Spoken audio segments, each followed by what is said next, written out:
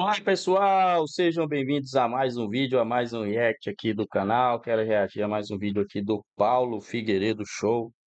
Rapaz, trazendo aquela info bombástica que ele falou que ia acontecer. Não é por essa, né? Porque eu venho acreditando no que o Paulo Figueiredo fala, que ele já falou outras coisas que a gente viu acontecendo aí e vamos torcer para que mais e mais coisas sejam lançadas para que o povo possa ver o que está acontecendo e pressionar ainda mais os seus políticos para que algo seja feito o mais rápido possível. Para o poderoso chefão, para o Barboso e os demais, isso aí já vai dar ruim. Só que a gente quer que seja o mais rápido possível para que o povo seja liberto logo desse cativeiro, né? Deixe seu like, se ainda não é inscrito, se inscreva no canal e vamos para mais um vídeo. Teríamos uma bomba acontecendo aí e postei nas redes sociais, de forma, meu português sempre muito claro, né? Uh, que nós teríamos uma notícia vinda dos Estados Unidos muito importante. Eu, naquele momento, eu acho que eu fiz esse post aí, se eu não me engano, tá aí no dia não, vou, não consigo ver aqui, vocês conseguem ver daí. Mas eu fiz na semana passada, acho que fiz na quarta, na quinta-feira, e realmente a notícia aconteceu na quinta-feira, mas eu não podia divulgar. E eu não podia divulgar porque uh, ela, apesar de eu ter participado nos bastidores, ela, a divulgação, o furo, não cabia a mim. Eu deixei para dar o furo quem gosta de, desse tipo de coisa. Então saiu na Fox News e na, no Globo, primeiro, na coluna da Malu Gaspar. E, aliás, foi uma notícia, uma das notícias mais lidas da coluna da Malu Gaspar. Do que, que a gente está falando? Que notícia é essa? Do que, que eu tô, uh, do que, que eu tô falando? Né? Quando saiu, quando eu digo que saiu na Fox, mais precisamente, se eu não me engano, uh, saiu na. Não sei se foi na Fox Business ou na Fox News, acho que foi na Fox Business. Está aqui, ó. Projeto de lei do Partido Republicano quer impedir que o dinheiro do pagador de impostos americano financie os ataques à liberdade de expressão no Brasil, a Elon Musk e ao X. E saiu, como eu disse, também no Globo, na coluna da Malu Gaspar, aliás, com um alto grau de precisão. A, a matéria está bem escrita, detalhada, com mais detalhes do que a da Fox.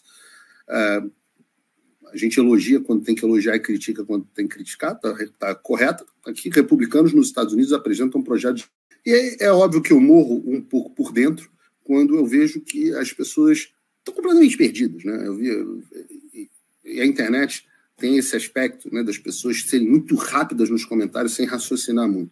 E algumas pessoas falando que isso era notícia velha, que o projeto de lei já havia sido apresentado, que era uh, tiro de festinha, etc, etc. Deixa para vocês entenderem, esse projeto, o HB né, 9850, né, HB vem de House Bill, né, é o chamado No Funding or Enforcement of Censorship Abroad Act. É a lei de não financiamento ou cumprimento de censura no exterior. Ou seja, é outro projeto de lei. Não é o mesmo uh, que o outro projeto que eu também anunciei recentemente, que é o No Censors on Our Shore Act. São dois projetos de lei absolutamente é, diferentes, evidentemente, né? Dois projetos diferentes, mas complementares. Eu digo diferentes e complementares porque um trata uh, da, vamos chamar assim, do sintoma, né? Quando a gente diz que vai impedir que entre nos Estados Unidos o Alexandre de Moraes ou outras pessoas, policiais federais, etc., que, compa que compactuem com a censura, né? Com a violação dos direitos uh, da primeira emenda, do, de, de, cidadãos americanos, quando a gente está falando disso, é, esse, isso é um ataque ao sintoma. Então, é, o Alexandre está violando a liberdade de expressão, vamos tirar o visto dele. Né? Então, você está agindo no sintoma.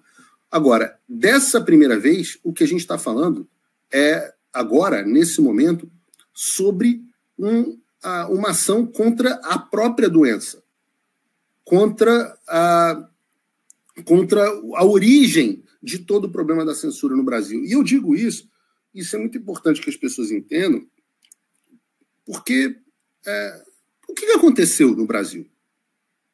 Parem para pensar, façam uma reflexão.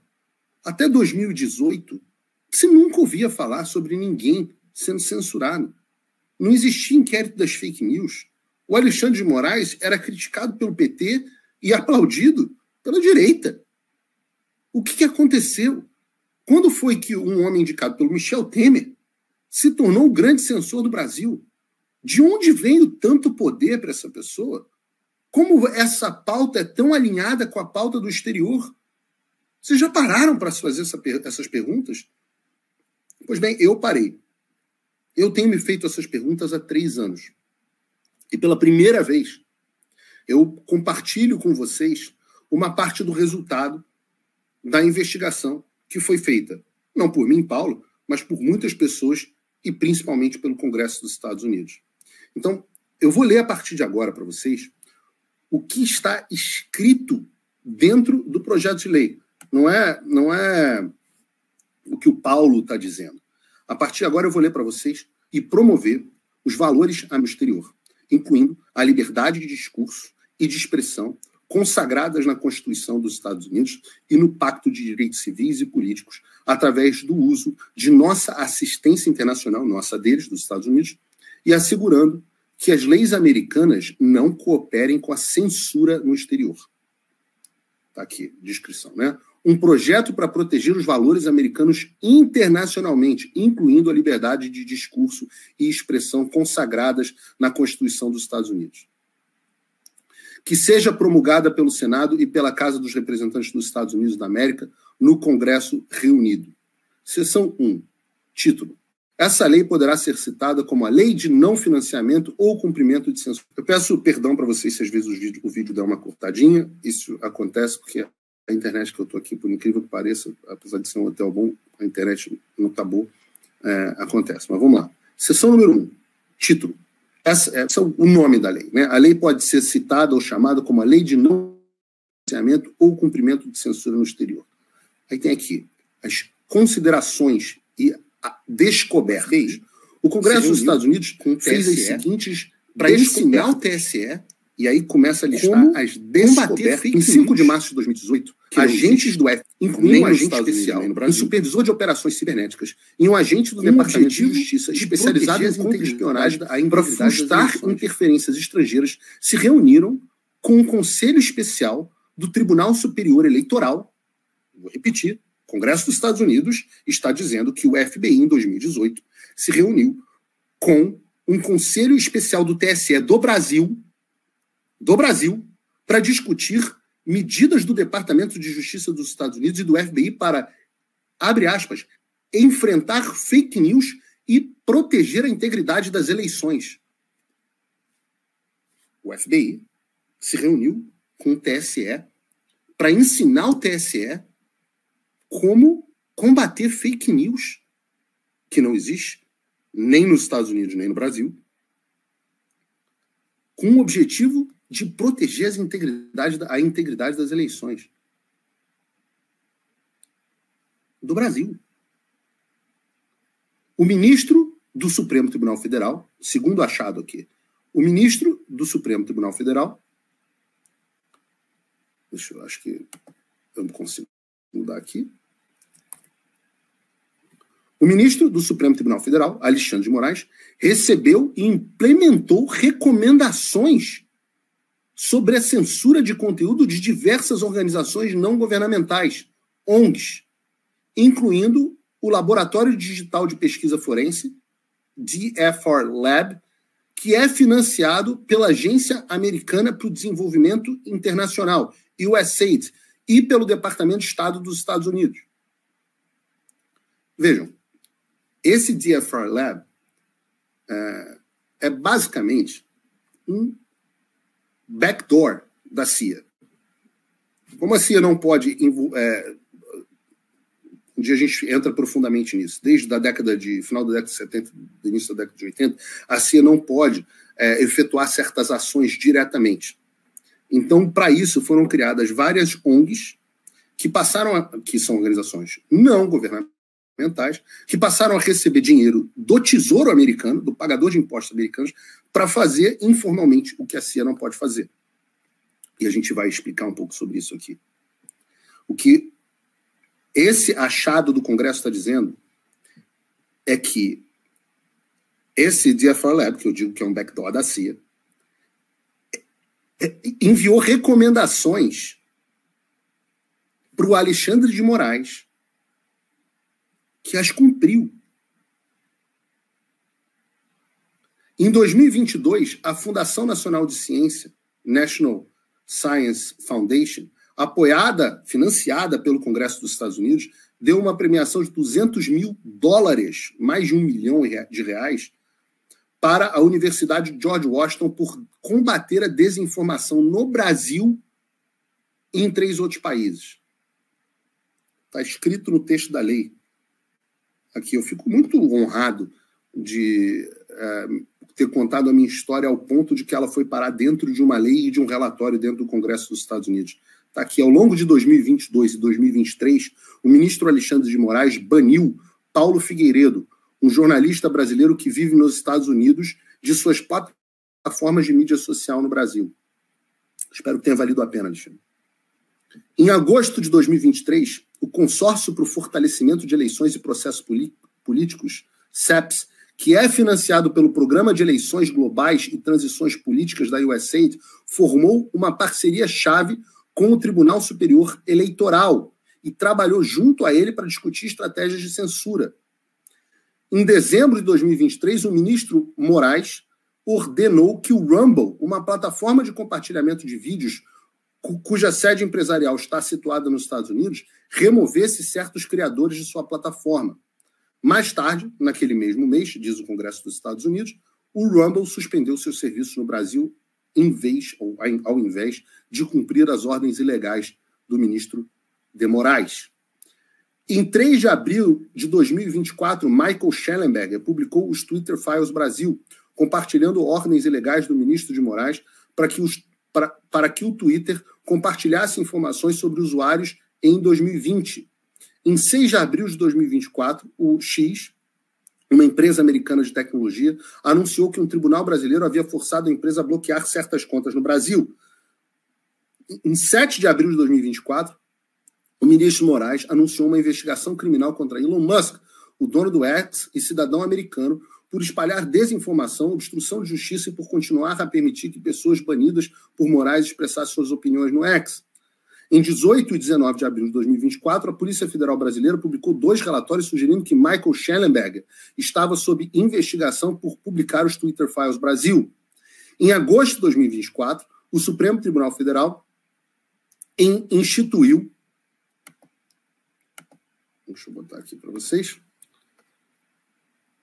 O banimento do X.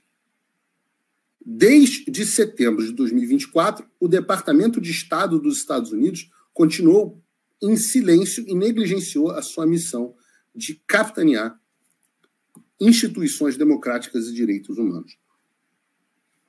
Essas são as descobertas que estão na seção 2 dessa lei.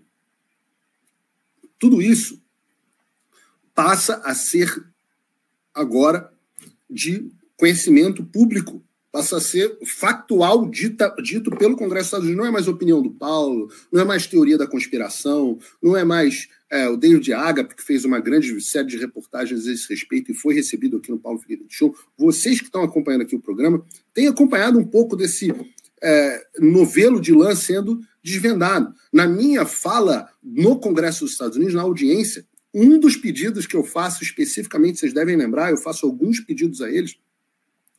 É, um deles é que eles produzam legislação e o outro é que ele, eles cortem os envios de recursos para as ONGs que financiam e que também parem de pressionar as autoridades brasileiras através do Departamento de Estado para que elas promovam a censura. Entendam.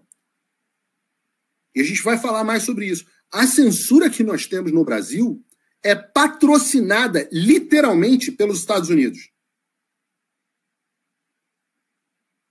Pior, não é?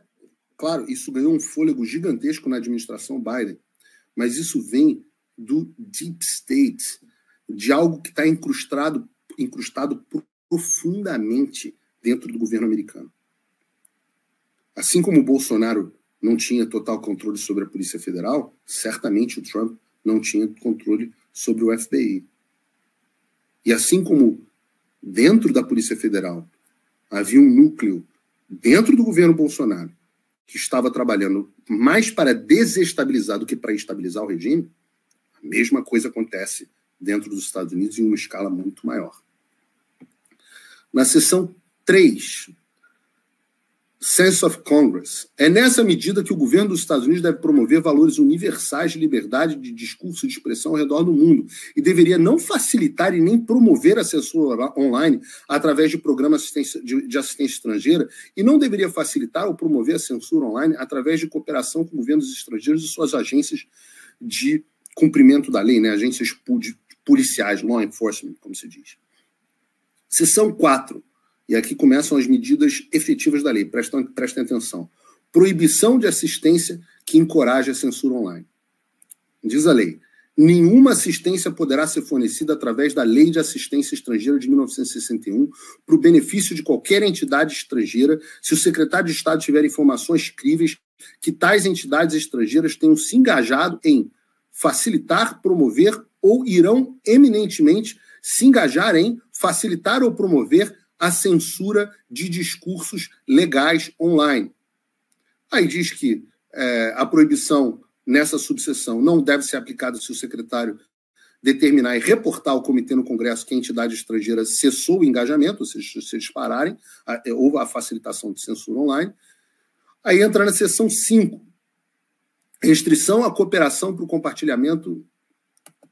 Deixa eu ver se a gente já está aqui, não. Isso aí. Seção 5. Restrição à cooperação para o cumprimento das leis com censura online estrangeira.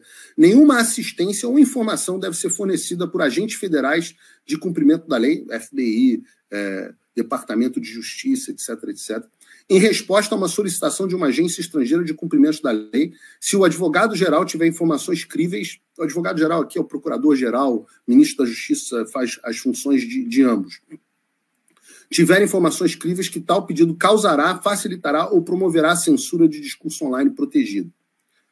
Ao fazer uma determinação sobre essa sessão, o advogado-geral deve consultar-se com o secretário de Estado, como é apropriado, e com o diretor nacional de inteligência. O advogado-geral deverá providenciar um relatório para o comitê apropriado no Congresso anualmente, listando e descrevendo todas as determinações feitas sobre essa sessão, as quais poderão ser submetidas em um formulário confidencial. Então, o que que, o que, que passa aqui? Nós temos dois é, pilares, e a gente vai aprofundar sobre isso. Né? Primeiro, só para deixar claro, ah, mas o que, que é discurso protegido, etc. A seção seguinte, que entra nas definições, tá?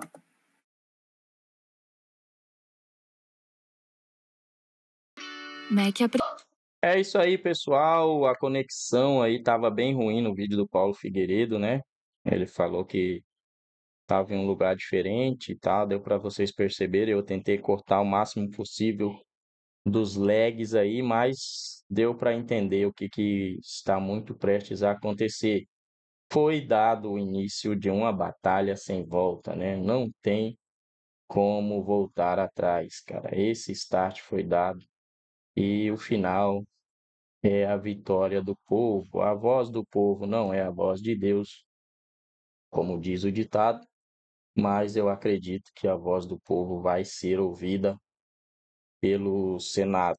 Isso aí vai estartar uma fúria maior ainda do sistema, porque eles querem, de toda forma, de toda maneira, calar a todos. Todos. Eles querem pegar todo mundo e vai acabar despertando uma fúria dos caras aí para eles tentarem avançar um, um pouco mais, mas acredito que meio que por fora, né? Meio que por fora para tentar fazer é, de outra maneira, assim como foi feito nos, nos arredores aí do mundo aonde eles conseguiram. Tomara que a gente vença essa batalha, pelo menos é o que eu, pelo que eu estou vendo, vai ser difícil de não vencer essa batalha depois de, de amanhã, amanhã é sábado, domingo, é, votação né, para prefeitos, e depois de tudo isso aí, acredito que a gente vai ver uma certa é, normalidade começar a, a acontecer, né? Pelo menos é o que eu acredito.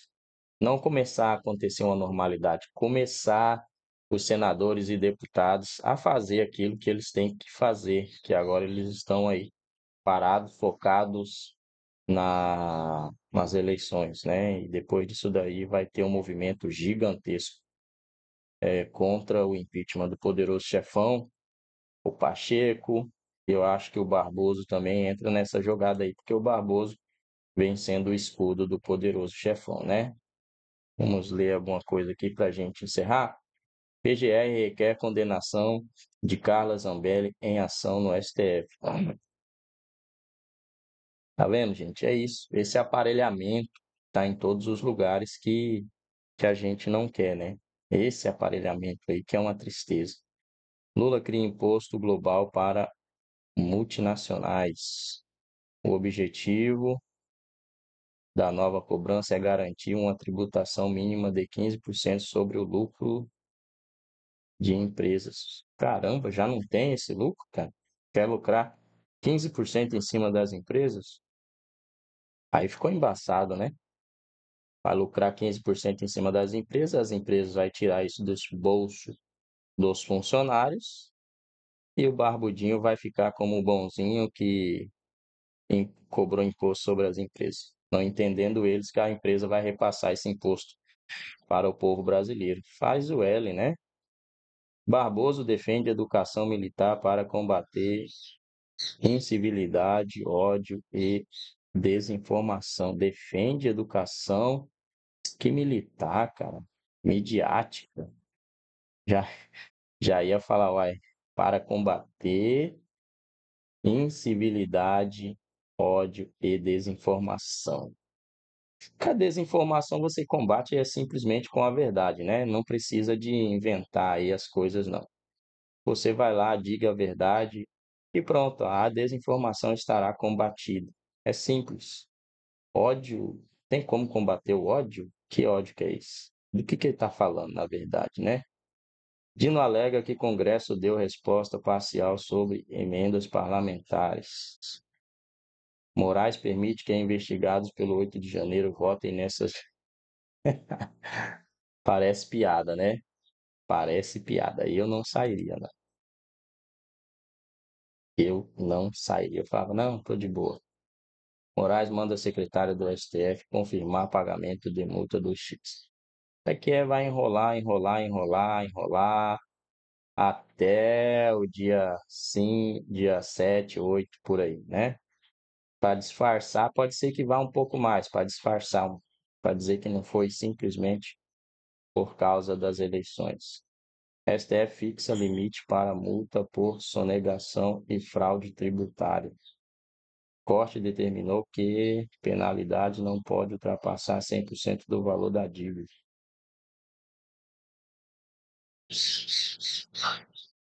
Fixe limite para multas e sonegação e fraude tributária. Não entendi muito não, mas Daniele Franco rompe silêncio sobre importunação sexual de Silvio Almeida. Bom, pessoal, é isso aí. Daqui a pouco a gente volta.